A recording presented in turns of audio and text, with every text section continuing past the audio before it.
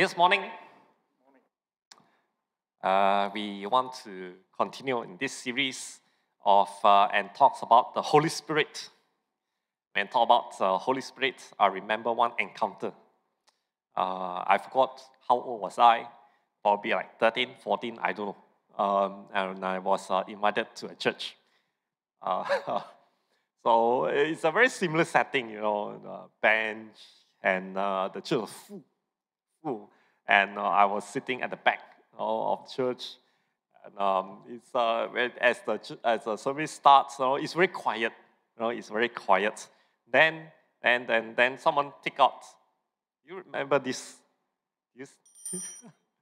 uh, for those are long enough, you probably uh, uh, uh, you know this sound. Okay, but uh, at, at, at that encounter, at that encounter, that uh, the, the before the service is going to start, I hear a bell. Immediately, I hear a bell. Uh, every single one, you know, every single one of church members there started to pray in tongues and pray in spirit. Is you know, yeah, and uh, I was only 13 or 14, I don't know how old am I. I was literally shocked, you know, I was taken back. What, what is happening? What is happening? Everyone in the church was praying in the spirit and speaking in tongue. I have no idea what I'm talking about. I have no idea what is this uh, happening. I was so shocked. And they are not just like one minute, two minutes. They pray on like I don't know how long. I keep on waiting what is happening. I look at my friend, and my friend is also doing the same. Okay, so I was uh, struck, no, uh, and uh, I'm dumb, no, sitting alone myself. And uh, soon after that, I don't know, probably three, after three, four minutes, uh,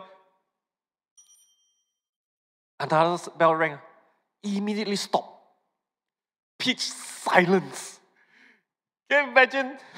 you know, even until now, my, my hair, goosebump also come out, you know. Silent, everyone silent. I was uh, in one minute, everybody praying in the spirit, and one minute, everybody silent. I was, uh, what happened now? what, what is happening? And, uh, and uh, I, I cannot remember, did I ever ask my friend? I probably did. I definitely probably asked my friend, oh, what is happening? What are you guys doing here? Am I in the right church or not? is this a church or not? Okay.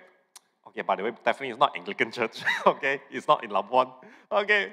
Um, so I, I cannot remember. I cannot remember that encounter anymore. Just that, you know, the atmosphere of uh, that. So you know, praying in the speaking in the spirit just uh, shocked me totally. You know. But man, uh, uh, uh, after uh, as I you know, I asked. Of course, uh, I I believe I asked my friend what is happening, all this thing. Okay. But many years later, many years later, as I got to know, as I got to know what is actually happening, and then uh, uh, about praying in the spirit, you know, speaking in tongue, and um, in my uni years, you know, there's also opportunity that I, I you know, get involved in the ministry. I was reaching out to this group of uh, China uh, students. At that period of time, it was just uh, opening of the borders, and a lot of China people coming into the uh, college. So I was ministering to them, and uh, at that moment, at that season of time, other people asked me, you know, because I got to know, you know, I, I started to got to know, understand this. I also speak in tongue. I also pray in the spirit, you know, and uh, in services. So that period of time now, other people start asking me, you know, what are you doing? Why you speak in weird language, you know? And uh, if they continue ask, you know, what are you doing or what language are you talking about, you know, it is it is quite okay, you know, to give an answer for that. But uh, the thing is that they are not asking what are you doing. Now, the question that I receive is that, are you okay? You know the differences between this, are you okay, and what are you doing? It's a huge difference, you know. The first question is just to know, well, what are you doing, lah? Huh? What are you talking about? The second question is that, well, are you crazy or not? so, uh, so I have encountered people asking me, what are you doing? You know, why, why is this spirit? Oh, what is this Holy Spirit you're talking about? Oh, why you talk in, you know, words or language that's uh, foreign to every one of us. Now, this is the best opportunity to explain the faith uh, that you believe in. Uh, uh, so remember, in this season of time, I remind this every time already. It's a season to explain our faith. What do we do? What do we believe? No, it's not to win an argument, but it's opportunity to explain what do we believe. And uh, uh, uh, uh especially on this topic of Holy Spirit. And uh, if there's a question being raised like this, oh, it's the best opportunity for us to explain. Okay, and this morning, I hope that you know, these uh, few pointers will help us to understand a little bit better on how to uh, explain the faith that you believe in, and uh, hopefully they will also understand uh, what is uh, happening. So now I pointed out here, if someone is going to ask us, uh, what are you talking about? What is this weird language that I'm hearing? You know, it's the best opportunity that you can start with. No, this is the work of the Holy Spirit. Oh, praying in the Spirit is the work of the Holy Spirit. It's one of the signs that God dwells in us. So that is the very first thing. No, that's the very first thing that God dwells in us. This is one of signs that we speak in the Spirit. No, and uh, what do we mean God is dwelling in us? You know, from the very beginning, we know uh, this Spirit no, involves in creation. No, in Genesis 2, no, we talk about so when God forms a human, from the dust, it forms it, and God breathed, breathed into, uh, into the being, and what happened? Life appears. Human being appears, know, like you and me. All right? Oh, so life being formed. So he's involved in this spirit is the one that gives us life and call us to be alive now. And uh, not only that, this is the uh, this is the heart desire of God that He wants to place His Spirit in each and every one of us. Uh, in the scripture, uh, there are quite a number of scripture in the bulletin, you can refer to it, and uh, there are a few uh, we can talk about here now. Jeremiah 31, verse 33 here, I think I just quote 33. No, it says that uh, I will put my law within them. I will write it in their hearts, and I will be their God, and they shall be my people. You see the heart desire of God, that one thing, His Spirit in us. Ezekiel 36, 27, I will put my spirit within you. That's a heart desire. Joel, towards the last day, you see that Joel, he also says that, no, then after I'll pour out my spirit in you. Corinthians well, 6, 19. Do you not know that your body is the temple of the Holy Spirit? You see, this is the heart desire that God so wanting to put His Spirit in us. Why? So that we can experience it. That is why you know, experience God is so real. It is so tangible. It is so possible. You know? It's not something in the dream. It is so possible. Why? Because His Spirit dwells in us. It is the work of the Holy Spirit that we can experience Him. Okay? So that is the very first thing that God dwells in us. Not only that He dwells in us, He continually involves in our life.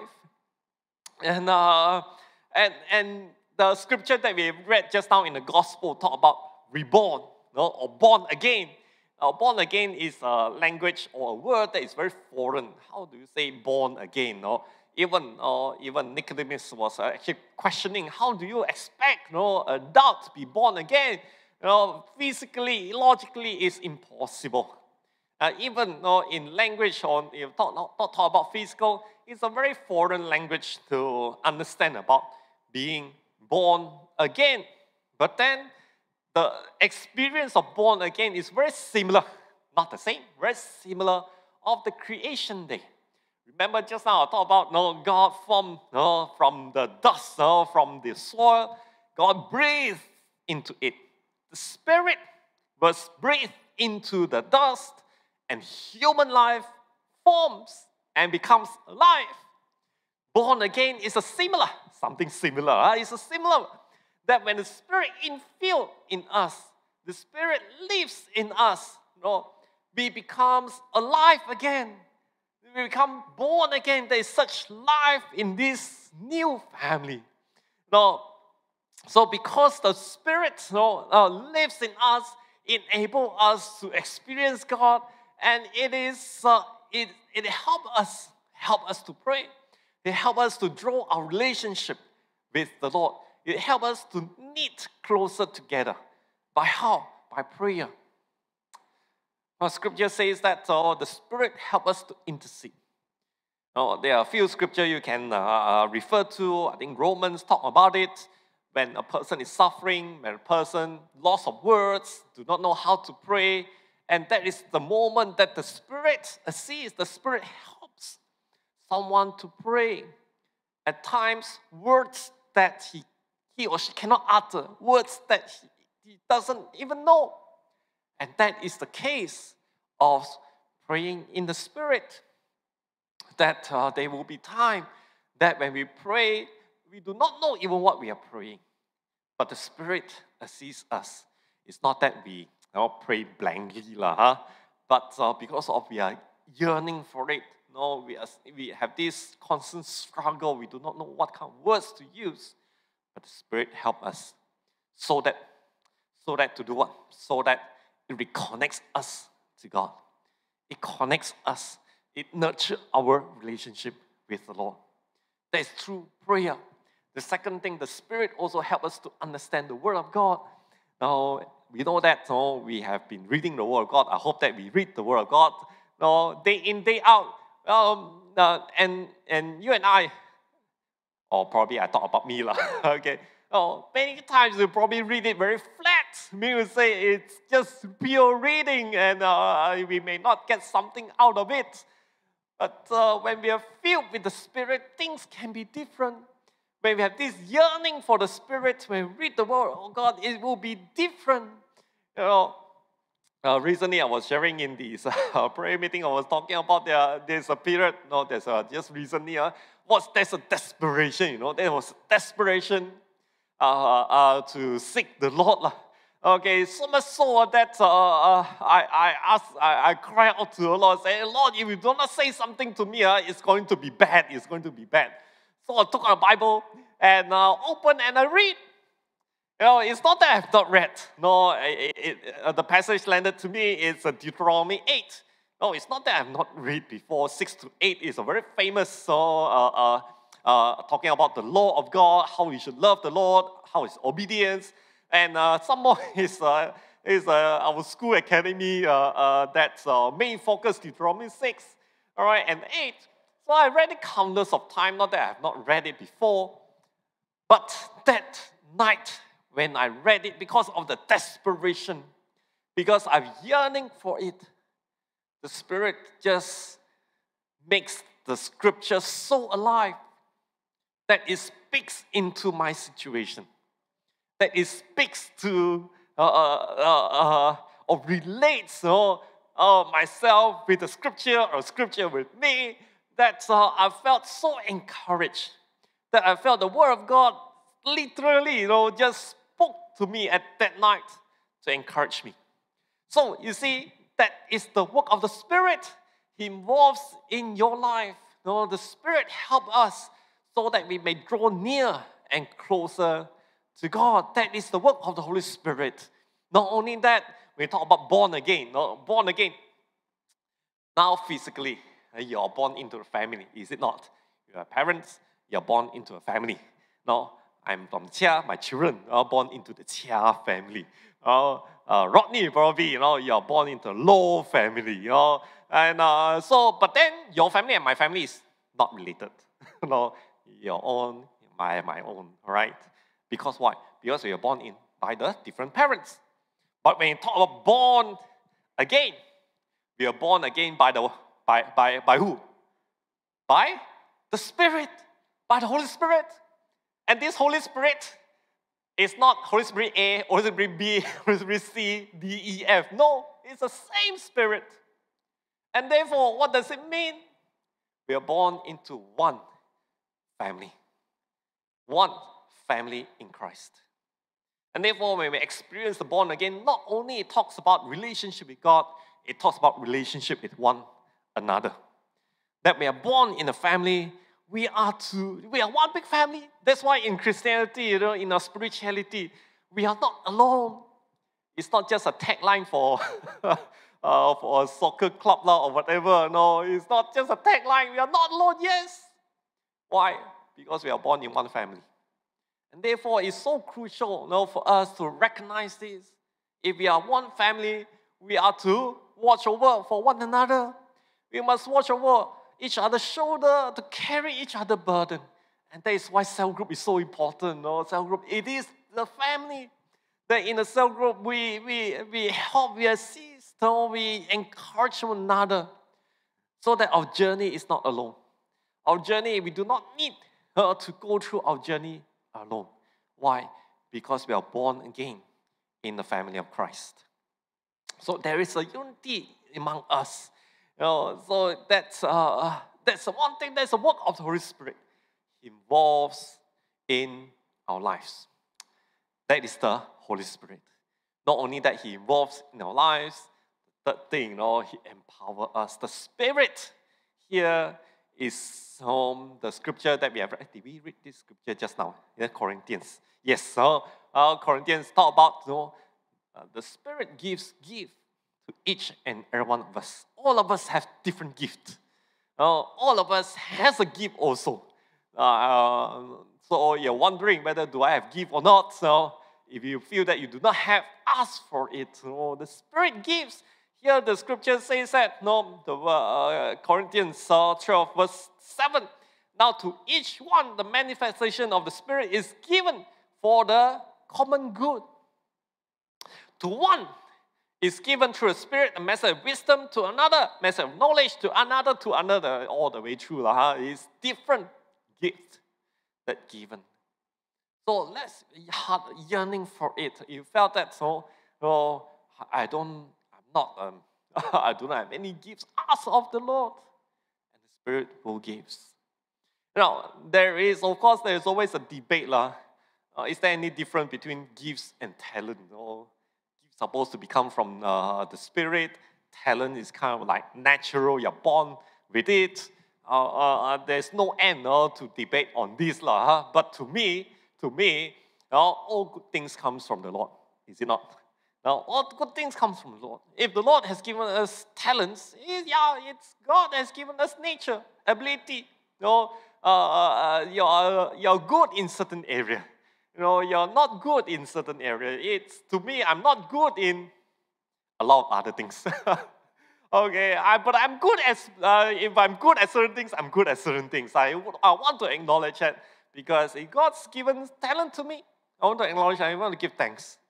I want to also acknowledge, no, I'm not good at and uh, some other things as well. And therefore, again, family of Christ comes in. Everyone serve. Everyone take their own gifts for the common good. So it empowers our life together, not just to live our life like any other day. It's not just go through our motion in our, our daily lives, but to recognize the gift that we have to contribute the gifts that we have to make a difference, to make an impact in other people's life. You know, it comes with assurance of God's power. Is it not? So Acts 1 8 uh, is already very, know, uh, it's assurance. You know, it is the it, it, it, it's the Spirit comes in power that we may of course, 1 8 talk about evangelism, la, so that we may preach the word of God. The same Spirit also enable us that we may serve one another. So, no, coming days, coming uh, this year, uh, when we have uh, uh, church events, we have cell group events, so let us use our different gifting in our cell groups uh, to give, to participate, not just to take not just to receive, but to give. You know, because the Spirit has given us gift, and therefore we must use the gift to give, not only to receive. So that is the Spirit. That is the Holy Spirit. No, he, he, he, he is a spirit, a sign that God dwells in us. He's not only dwelling in us, he's, he, he is the one that so uh, involved in our lives, that we able to experience Him, that we may also build this family. And uh, the Holy Spirit, you know, give us empowerment, encourage us to serve one another. So that's the Holy Spirit. Probably you can end with a challenge. Do you want the Holy Spirit also? See, you know, I mean, uh, this uh, is an opportunity for us to explain why we believe, you know, what we believe. And I hope that uh, it can be encouragement to you also today. Do you need the Holy Spirit? Do you want the Holy Spirit? the scripture, you know, we can go on and on. Uh. This is only touching a little bit only. Uh. I, there's a whole lot of uh, a whole lot of doctrine and theology we can talk about it. Uh, but then this is what I believe, what the Spirit you know, encourages in my life, and I want to share this with you. And the spirit, same Spirit also here today to speak to you and I this morning. You need the Holy Spirit. Paul says, "Be filled with the Spirit." We need to be filled in the Spirit every day. So if you feel that, you know, today we come to church a little bit, you know, moody, a little bit dry, a little bit normality, yearn for the Spirit. Because when the Spirit fills us, there will be a sense of freshness, like a living water you know, gushing out. It's a freshness that will look at life very, very differently. Even though problems still occurs, you know, even though challenges still, you know, I was saying that you know, why I desperate you know, for the uh, uh, for the spirit, you know, because of a few events I mentioned two of the events uh, just now, our uh, intake program and that's uh, you know, uh, quite a number of things uh, in my mind that uh, uh, yeah, quite stressful also like, at times. So, so that's why the desperation. Uh, Oh, when the Lord ministered to me, oh, is I still have to run the program. I still have a lot of things to uh, to to to uh, to think and talk to invite. Oh, but it gives a new perspective, a freshness on how we look at things. You know, rather than focus on the impossibility, now we focus on all the possibility. Problems may not go away but with the Spirit, it helps us to focus our hope in the Lord as we journey on. That is why it's so important for us to be filled with the Spirit. Amen. So this morning, you know, as the worship you know, continue to minister to us, uh, open up our hearts. You know, if we desire of the Spirit this morning, ask the Spirit, ask God to fill, to fill you that you may experience Him, that you may encounter Him. And that's, I can, not that I can guarantee, but I believe that you see life very, very differently. Instead of hopelessness, there will be joy, there will be comfort, there will be hope. Amen. Let's pray. Father, I want to give thanks to you for this confident assurance that we have in you. Lord, this is your desire that you want to send your spirit in each and every one of us. And we believe over here, every one of us, we have that spirit. I want to pray that you fill us anew, O oh Lord. Like Paul commands us, be filled in the spirit. That today we'll be able to encounter you, we'll be able to experience you that will give us a fresh perspective of life and how we live our lives, O Lord. So, Father, we pray your Spirit works mightily this morning. Speak to each and every one of us. Speak to each and every one of us, Lord. Let your Spirit whisper. Let your Spirit feels. Thank you, Lord. In Jesus' name. Amen.